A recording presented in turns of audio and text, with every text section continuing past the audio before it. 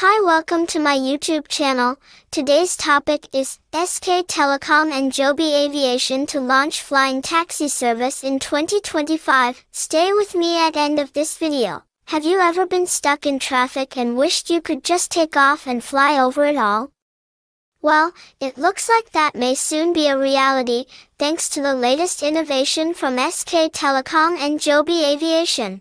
Last year, SK Telecom and Joby Aviation teamed up to develop an air taxi service for the South Korean market.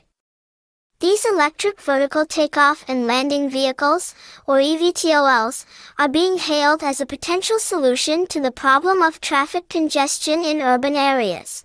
SK Telecom and Joby Aviation are working closely with the South Korean government to make this vision a reality.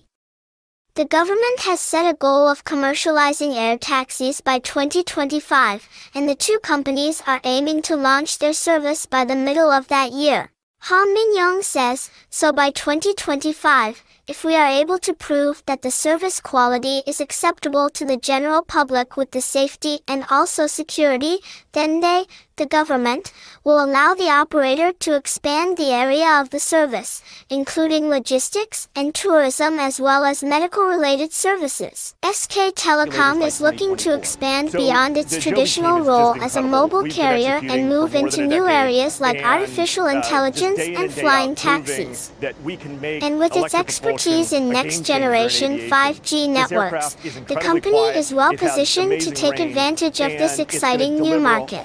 According to consultancy Roland Berger, there could be nearly 160,000 unpiloted electrical drones in use worldwide by 2050, generating almost $90 billion in annual revenue.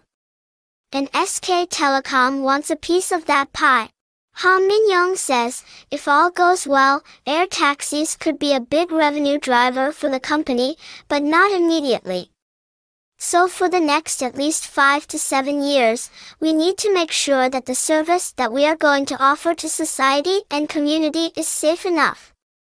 Once it's accepted very well by the community and society, then we believe that it will generate a significant amount of revenue. So get ready to take to the skies and leave the traffic behind. With SK Telecom and Joby Aviation leading the way, the future of transportation is looking up.